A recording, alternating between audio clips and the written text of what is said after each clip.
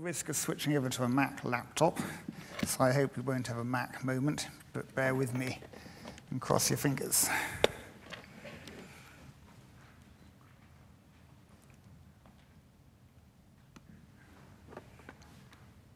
Good, we're set.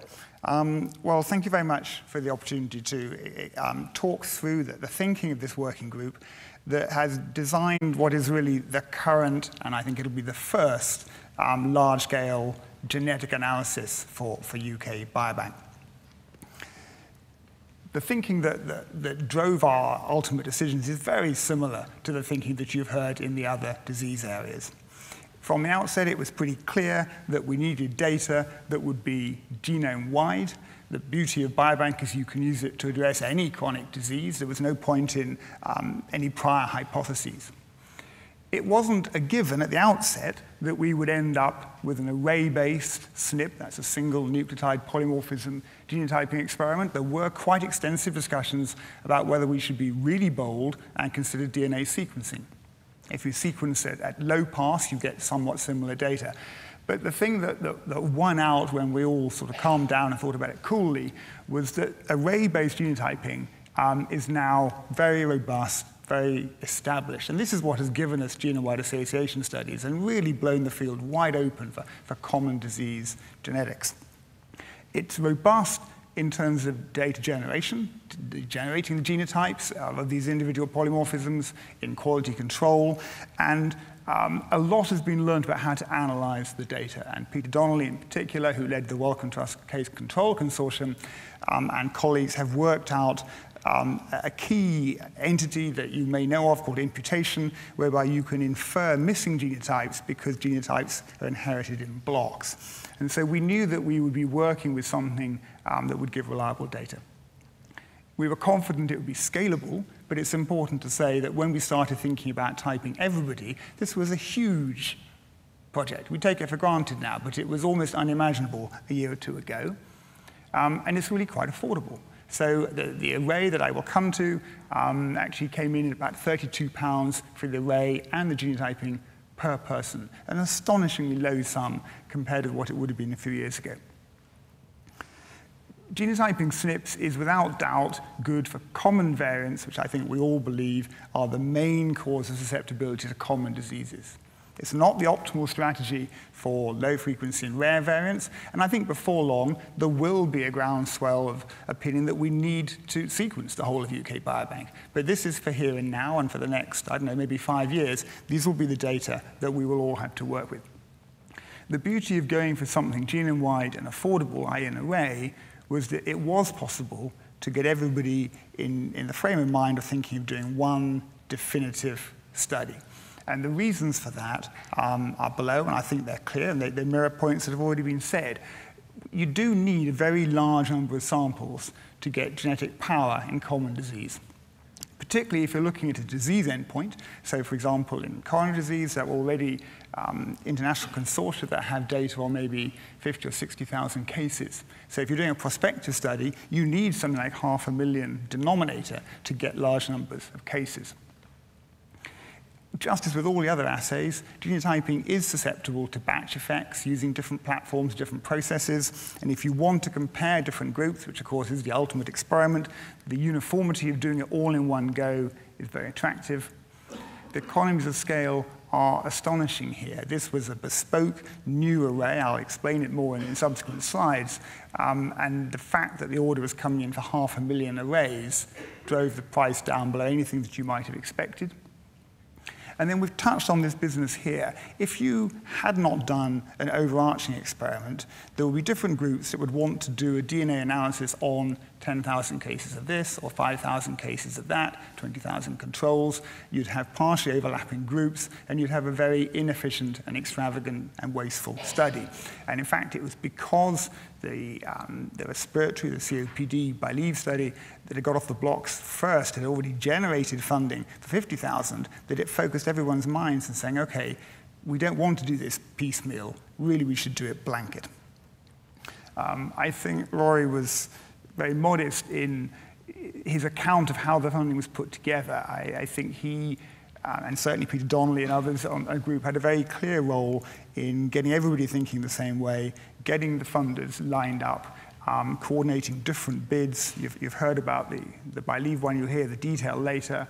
Um, Paul Elliott um, headed a cardiometabolic bid to the British Heart Foundation, and in really quite a short space, moved the agenda on to doing one definitive study.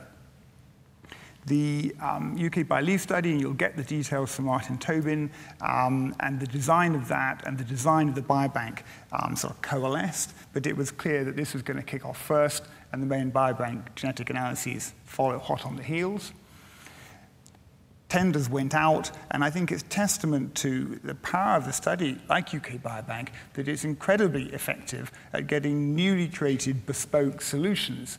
Um, the industrial providers will really work hard for something of this scale.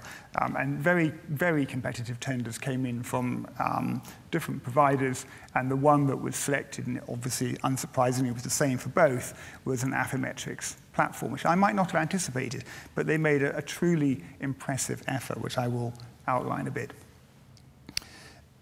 Um, the working group was convened to, to, try to consider what were the types of genetic data that you would like to have if you were doing a large-scale genotyping experiment.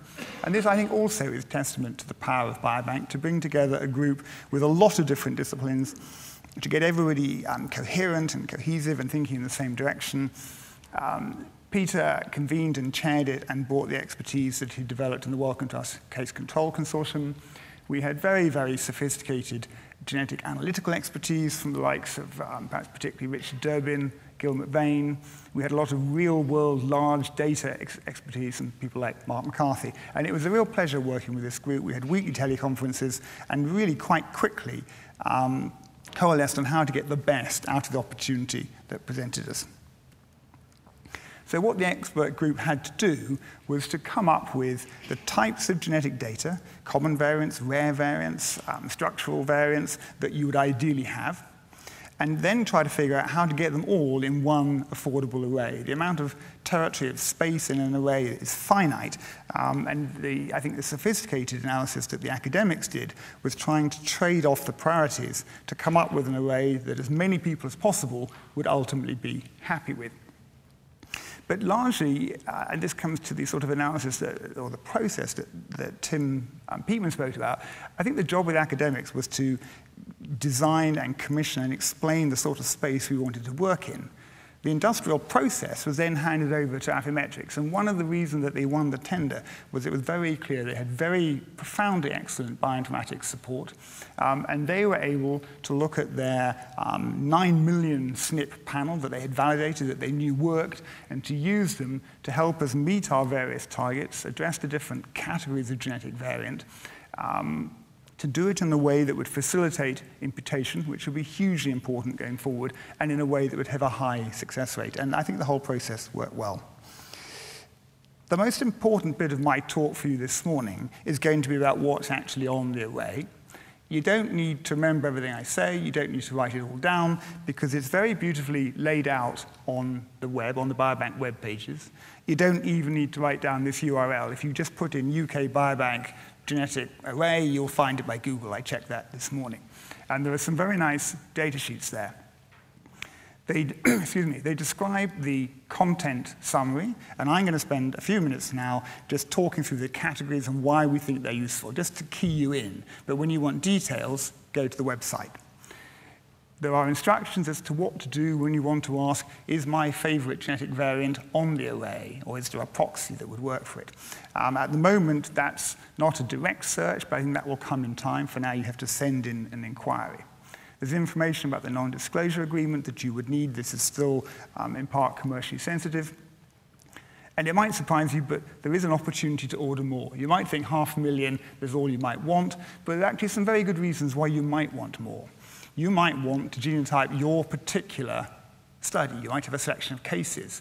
Biobank will provide fantastic controls. The price is extremely good and the array is very well designed.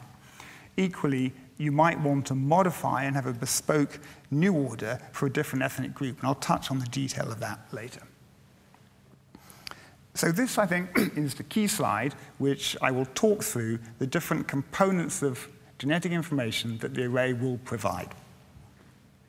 If I start at the top, I think the core experiment is a, a grid of um, SNPs that are designed to optimize the type of imputation experiment you want to do a genome-wide association study. This is based on um, markers of relatively high frequency that were selected because of high frequency in the Europeans. This is relatively standard. What's more sophisticated is that there's a very large number, it says 275,000 variants, that are low frequency, but are within the um, 1 to 5% range in Europeans.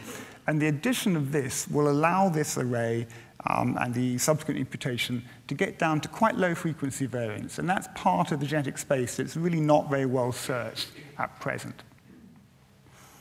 Going still progressively um, rarer, we then looked at what is known to some of you as the exome array. So this is an existing commercial array, there are a couple of them, that look at all the variations that directly affect the structure of genes. These are coding variants. They are more likely to contribute to disease. We want to enrich the array. But the commercial arrays at the moment have very many variants that are just not polymorphic or hardly polymorphic at all. So to make space, we just took the 80,000 best ones, the most frequent ones. We've added in 33,000. These are the MacArthur loss of function variants that people in the field will know that, again, are likely to, to damage a protein product, more likely to associate with disease. The one sort of rare disease um, experiment that we've done is to put on pathogenic or, or variants that have been thought to cause rare Mendelian disease in the literature and the existing databases.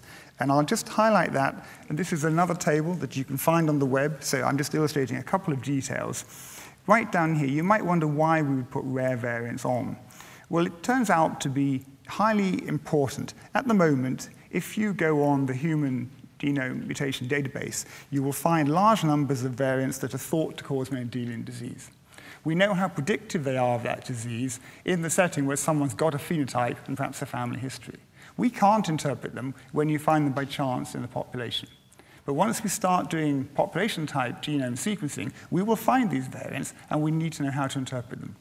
And there's a particular need for inherited cancer and inherited cardiac disease, particularly sudden cardiac death conditions, because these are the disorders that some um, opinions in the field feel are serious. If you have them, you really need to know, your relatives need to know, and actionable there is something you can do if you've got a BRCA2 mutation. But at the moment, we don't know how to interpret these variants, and to get their frequency just on the population will be very valuable, and to get ultimate associations with disease, really important. Moving around the rest of the array, there's now a large number of categories of common variants that are here not because they're good for imputation, but because they've got some existing claim to associate with something that you will care about. So we have a large number of variants that are known to associate with a level of expression of the neighboring gene. This comes from Giovadis, a number of different tissues. Some people in the field will, will know the details. These are very likely to have functional effects in the genome. Um, there's an interesting project here to take 20,000 variants that are likely to have come into our genome from the Neanderthal genome. They're not in modern African genomes. And there are views that say that they're particularly enriched for susceptibility to disease. In the category miscellaneous, there's some really important things here. Very dense typing over the HLA region. This is, of course, where genetic association started. So people like Adrian will be pleased to see 8,000 markers here. And